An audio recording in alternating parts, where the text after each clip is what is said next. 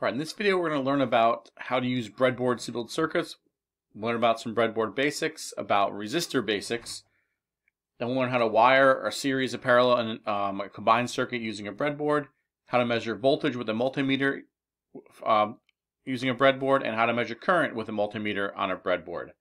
And also I'll show you a link to another video where I go over the same things but um, in real life with an actual breadboard and some wires. So first, our breadboard. The reason we use them is that they help us make neater circuits. They allow us to connect wires in an easier fashion. They allow us for a more efficient use of space. We can make smaller circuits, make the same complexity, but in a smaller area. And they also give us less of a chance of shorting things out or of wires touching other wires um, in the wrong way, destroying our circuits. So what you see here is a breadboard. And a breadboard really just consists of a kind of um, little plastic thing that has metal in the bottom of it and it has a bunch of pre-made connections. So all these little dots allow you to plug wires into, or these little kind of holes allow you to plug wires into them, and a bunch of pre-made connections are already made below them. So a couple rules. So on the outside of our breadboard, so outside is referring to this section here and this section over here. The ones in this case, they have blue and red lines. Your breadboards might have these blue and red lines. Some of them might just have um, not be colored at all. But really you can tell there usually is a little kind of a gap here and here that separates the outside of the breadboard from the interior of the breadboard. So these are the rules for the outside. And they're pretty simple.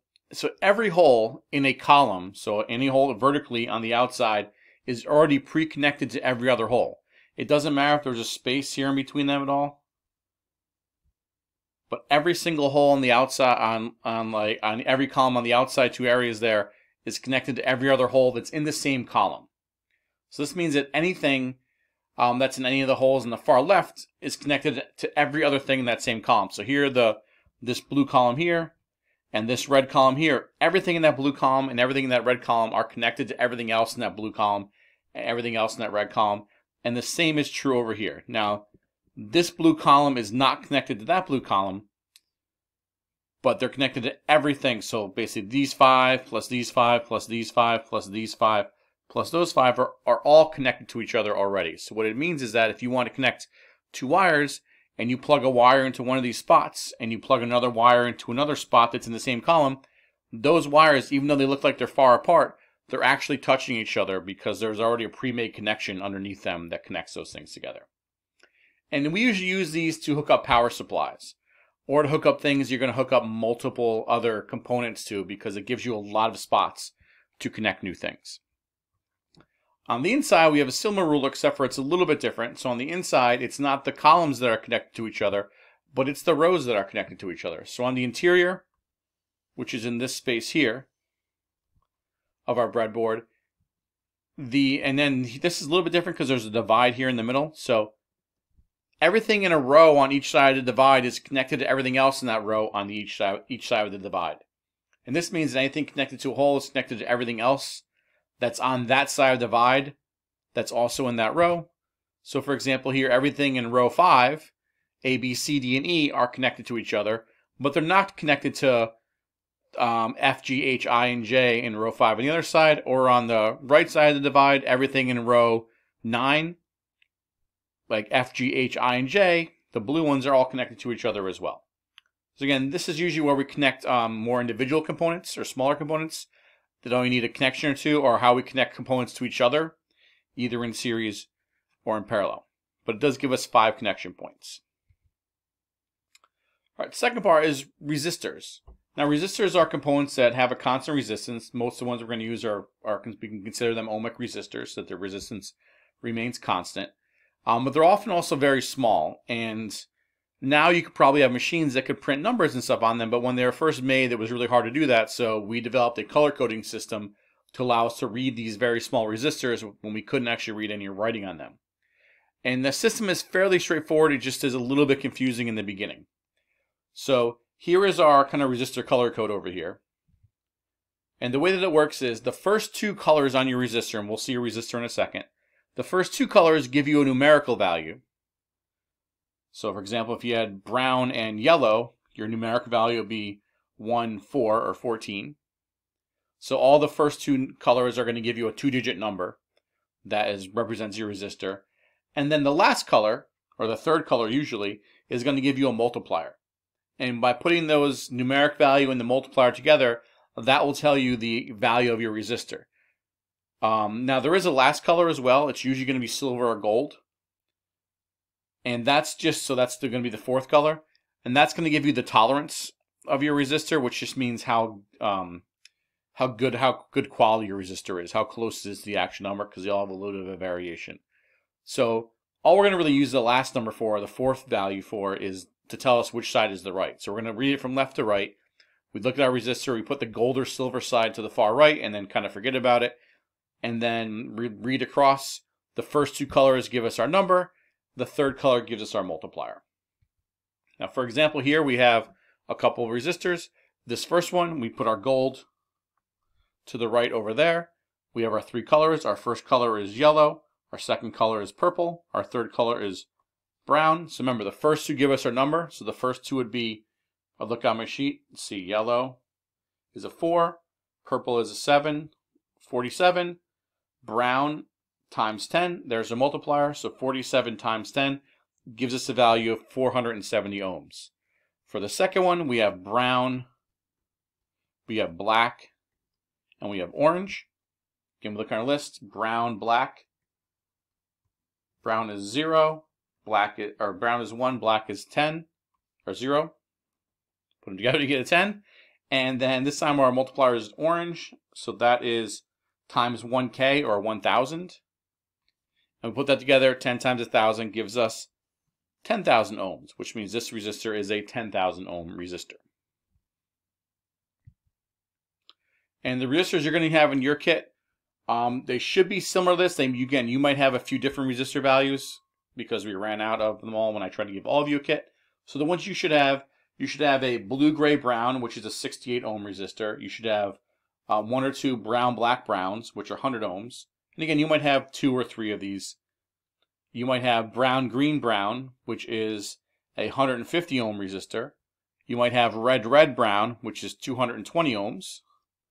And you might have a yellow purple brown, which is 470 ohms. Now there also, I think there might be some 200s in there. Um, there might be some other values in there as well. But this should be close set. This you should have a variation that runs about from 68 to 470 at the maximum and other numbers in between. So the first you might want to do is when you get to, when you start your lab is take out your resistors, sort them, figure out find kind of find them, put them in a little pack. So when you go and build your circuits, you know which ones to use. All right, so now we're going to jump to a second video where we talk about how you can build your circuits using a breadboard and what they might look like when you um, when you build them using breadboards and resistors, and then also how we can use our multimeter with our breadboard to measure the current and measure the voltage in our circuit and then I'm going to throw a link at the end, uh, probably in the description of this, that goes to a second video where I kind of work out under a video under a camera building these circuits using a breadboard so you can kind of see what they really look like in real life.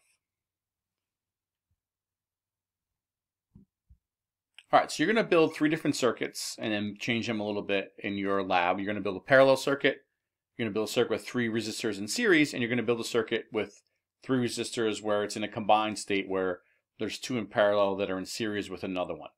So let's see how we hook it up. So the first thing we want to do is we're going to hook up our, you're going to hook up your battery. And what I usually do is hook up the battery to one of these um, kind of long column sides. Now, if you have a, a, breadboard like this, you can hook one side of your battery up to the blue side and one side to the red side. Oh, and by the way, the color of your wires don't matter. They're just there to help you remember where things are. So you have a bunch of different color wires. Color doesn't matter. So I might hook it up this way where I hook again one of the one of the sides of my battery to um, this red column and one side to the blue column because we might hook up more, multiple things to the battery. Um, some of your breadboards might only have one column on the outsides. If they only have one column, that's fine. Just hook up one of your battery sides to the column on the right and one of them to the column on the left. So either way is perfectly fine. And really, if you do it this way, it doesn't really matter. You have four columns, and this one you can use. All you really need is two, one for each side of the battery. So that's how we start. And again, sometimes it helps to put these at the very top as well, just to get them out of the way. But again, it doesn't really, I'm gonna actually rotate this a little bit to be a little bit neater. Using my digital wires. So let's say we start like that. All right, now I want to build my circuit. So I have three resistors here. I just happen to grab these. Um, yours are not going to be the same ones as these, but yours are probably going to be mixed and different. And I want to put these in parallel. Remember, we said parallel means they're all connected to the same spot. That's what it means to be in parallel. So I'm going to plug these in, and I just want to make sure I plug in each end of my resistors to um, the same or the same row of dots on the same side. So if I start and plug this one in, let's say here, and if you notice, let's see, it's going from row 8 to row, looks like 17. If I want to put my other ones in parallel, I just want to make sure they're somewhere in row 8 to row 17. So I can put one there, and I could put one over there, let's say. Now again, I can skip, I don't have to put them right next, I could put this one like right next to it, but maybe it's too close. You want a little more room, so I can move it over, and I'll put it there. As long as they go from row, they start the same row, in this case I think it's 8, and end at the same row, 17, they're going to be in parallel. All right, so my three resistors are in parallel, but they're not connected to my battery. So now I want to make a connection from my battery to my resistors, and then from my resistors back to the other side of my battery. And remember, I plugged my battery in here. I don't need to um, shoot a wire all the way from my resistor back to my battery. I can use the fact that every single dot here that is in, or every single hole that's in this column is connected to each other. So I'm going to use this jumper wire and I'm going to go from one side of my battery. And now I just want to make sure I go to the same member. When I'm inside, the, the rows are the same. So I'm going to go from my battery to this row. So I can do anything in row 17 works. So I'm going to jump to this second thing here, to 17, looks like 17B. So now if I kind of follow the path of this, I'm going to come in. Uh, I'm going to come in and go from, oops, I don't know why it's not working. Let's use the mouse. Come in and come over here and go to here. And then I'm going to, now it's connected here. It's going to go through all my resistors. Now that battery is hooked up to all three of my resistors. And now just have to connect it to connect my resistors to the other side of the battery. So I'm going to use my jumper wire again my other, a different jumper wire, hook one side to row 8, and then bring it over and connect it to anything in this column, the far right column over here. Again, I can put it anywhere, whatever makes it look clean, whatever's easy to plug it in. Maybe I'll plug it in right there. And now this will go back to there. Everything in this column is connected, so it connects to that. And now I got my loop that goes back to my battery. And I have my loop where it comes out of the battery, goes through all three resistors, and then goes back to my battery. So there's me wiring my circuit in parallel. In series, again, I'm going to connect my battery the same way. So I have them connected this time. I'm going to use the two columns on the left because I already have it drawn that way. So I'm going to um, connect, remember, in series, it means they're in line with each other, where one end of your resistor connects to the other end of the other resistor or that basically you want the same current is going to go through them all. So let's wire them. So I'm going to put the first resistor, let's say put it right up here. Now I want my next resistor, I want one end to start where this one ends. And then it can go wherever it wants to, so I'll go from there to there. And then my next resistor, I want to do the same thing. I want to start it where this, the one I just put in ends, and then go to wherever it goes to. So let's say something like that. And now if I follow these, I'm going from here to here. These are together, so that those are already connected here to here. These two ends are connected, and then I can go down to here, and these are connected kind of one after the other in series. Again, they're not going to work yet because they're not connected to the battery, so my, the next thing I want to do is I want to use some jumpers, that's why I call these wires, and jump them from my battery to one end of the of this series circuit, and then from my battery to the other end of the battery to the other end. So let's see, I'll put one, that goes from this red column to, and now I'm going for the red, anything in the red column is connected to that red wire. And I'm going to put it, it can be anywhere in this row. Let's say I'll put it right there. Then use my other cable. Again, anything in this row at the bottom. Let's say I put it over this one this time. And I want to go now to this blue column over there. And now if we trace that path, we're going to come out of the battery, Remember, this is all connected, jumps us to here. All these, everything in the row is connected. We go through our circuit. The end of our circuit here is connected to everything else in that row, goes back to the green wire, connected to this blue column, and now that's connected to everything else in the blue column, which is that wire, and then we're back and we have our loop that goes through our battery. So there is our three resistors in series. And if you want for our combined circuit, it's going to look something like this. Or again, we have one that looks like it's in series, and the two other ones are in series with it, but they're in parallel with each other. And again, if we just trace this one really quick, we come out of the battery. That's connected to that green one. That's connected to the end of that. Goes through that. Now we get here. Kind of the current can divide up, goes through both of those. They come back together at the end in the same row as this green one. Comes back out to the blue column and then back out through the blue wire and we got our circuit there. All right, there's building our three circuits. The last thing we want to talk about is how can we measure um, current and resistant or current and voltage in these circuits. So let's go back to our parallel one. Um, let's see if I can erase this yellow stuff really quick. All right, so how do we measure um, voltage and current? Voltage is easy. So we have our meter over here. And again, you're going to set your voltage, your uh, multimeter. When we when I show you the real one, you'll you can see what what um values you're going to use. But you're going to set it to one of the voltages. It's a little bit hard to see here, but in this one, the voltages are right here. Can highlight them. The three, uh, I think they're over there. Yeah, the three steady state voltages are right there. So you're going to probably pick the 20 volt one. It depends again, depends on what meter you have to measure voltage. Set that to the to that.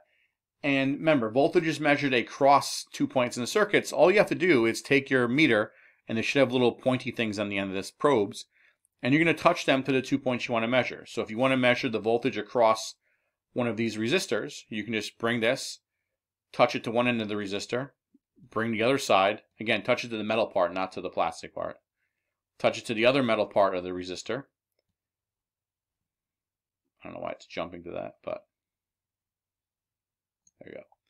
And that's going to tell you the voltage across that resistor. And if you want to measure it across another one, you just bring it, touch it to that side, touch it to that side, and that's going to tell you the voltage across that resistor. Now, if you go to the series one, we'll see this one's a little more interesting. It's really yellow. Again, if I want to measure, let's just rotate this so we can see a little better. I want to measure the voltage, I would just click it up so I can say, oh, what's the voltage across this resistor? Take my two probes, touch them to the two ends of that, and that would give me the voltage across that. Put it on the other side. That would give me the voltage across that resistor and whatever, and you can take the voltage across whatever you want. Now, the other, so voltage is pretty easy to measure. You can just set it to voltage and then put the probes on whatever two things you want to measure the voltage across. But remember, the voltage measures across something, so you want to put it on either side of whatever element you're measuring the voltage across. Measuring the current is where it gets a little bit tricky. That's where you can also damage the machine, so you got to be really careful and make sure you wire it correctly. So to measure the current, um, there's a simple little thing you can remember and you'll never make a mistake. Remember, current, you want to measure the current through a wire or through something in your system. So whatever you want to measure the current through, you need to remove parts of your thing. You need to, you need, remember, a voltage meter you measure across something. So you kind of add it to the circuit in parallel. And it has a pretty big, or we, we say it has an infinite resistance, so it's not going to mess up the circuit. A current meter, though, has no resistance or very low resistance, and you want to put it in your circuit because you want to measure the current flowing through it, or wherever part of your circuit you want to measure the current. You want to put your meter in into the circuit there. So what you're going to do is wherever you want to measure the current, you just disconnect one end of that wire. So let's say I want to measure the current coming out of the battery. What I'm going to do is I'm going to unplug the battery, just one end of it. So I would disconnect that, pull it out of the little pinhole, and then I would hook one side of my current meter to the wire I took out and put the other side of my current meter I want to put it in that hole, but it's too big to go in the hole. So what I'm going to do is I'm going to use a jumper cable. So wherever I unplugged my, um, whatever I unplugged, I'm going to plug just a loose cable into that exact same spot. So I'm going to plug a loose cable into there. And I'm going to connect my current meter to the other side to that loose cable. So I'm going to go through that one more time because this is where it gets a little bit confusing. So here's my original circuit. I built it. It worked. I measured my, actually that was on the red one. I measured my voltages. I'm all happy with that. Now I want to measure the current that goes through this circuit. I'm going to disconnect this. And you can actually, you could like disconnect the green one too. It doesn't really matter. That's the same, comp, that's like the same continuation of a wire. But let's say I'll disconnect this one. So I'm going to disc, actually I would, I'm going to disconnect the green one because the batteries wires are kind of small and they're a little bit annoying to play with. I would keep those plugged in if you can. So I'm going to disconnect this green one. Oops. Disconnect the green one. Put in my little jumper wire where I disconnected it. So I'm putting that purple wire in where I disconnect at the exact same spot I disconnected the green one. And then now I have two loose ends. I have right here and this one, and I'm going to connect my current meter up to those two loose ends. And that is going to tell me the current that flows, if you kind of follow the path, it flows out of the battery through the green wire, through my current meter, back through the purple wire, and then through the rest of my circuit, and then back into my batteries. Now my current meter is in the circuit and current is going to flow through it. So that's not too bad. Now the trickiest part is when you do this using the parallel circuits. Let's go back to our parallel circuit. Let's use our ideas with our series circuit to see if we can measure current through our parallel circuit. So one thing you might want to measure, if you want to measure the current coming out of the battery, you can do that the same way. Unplug this green wire, plug in the purple wire, the two loose ends, you're going to plug in your meter to those two loose ends. You'll measure the total current going into it. But in series, you also want to measure the current going through each branch, right? Because we have three branches here with three resistors. So the way we do that is we have to unplug one of the resistors. But remember, you're just going to unplug one end of it. So I'm going to unplug one end of this resistor. I'm just going to do that by, I'm going to um, rotate it. So it's like I unplugged it. So I unplug one end of the resistor. Come on. And even though it's a resistor, you can still unplug it. It's kind of just like a wire with an extra little piece inside of it. So I unplugged the one end of the resistor. I'm going to plug in my, my uh, jumper, my loose jumper wire to the spot I unplugged it from, which is right here. And now I'm going to do the same thing. I'm going to plug in the two ends of my current meter. Maybe. Those. Come on. I don't know why I won't. Stop jumping there. To there. And the other end into there. And now I'm going to measure current through that branch. So if you trace the path, the um, current's going to come in for the battery. It's going to go through this blue, the blue column, down through this green thing. It's going to split up now. Some's going to go through here. Some's going to go through here. Some is going to go through this first resistor that I disconnected. Then through, oops. Then through my current meter. Then back through my this purple wire and then out over here through this green wire, and then back to my battery. So again, one last time, let's do it one more time because this is, again, this is one that's a little bit confusing with our combined circuit. Get rid of this yellow stuff. If I want to, again, I want to measure the current. I pick what I want to measure the current from. Let's say it's this resistor this time. I disconnect one end. Uh, looks like it's connected still. But you get the idea. This one's disconnected. Disconnect one end of it. This is just flopping around loose right there now. Plug in a jumper wire to the end, to the spot where I disconnected it from. And then I take my multimeter and I hook it up to those two loose ends. And now measuring the current that was that's flowing through that resistor. All right, that's it for how to build your circuits. Again, I'm going to link to another video where I show you what this looks like with your real life circuits and hopefully that will give you a kind of a jump start on uh, making and testing out and measuring current and voltage in your own uh, breadboard circuits.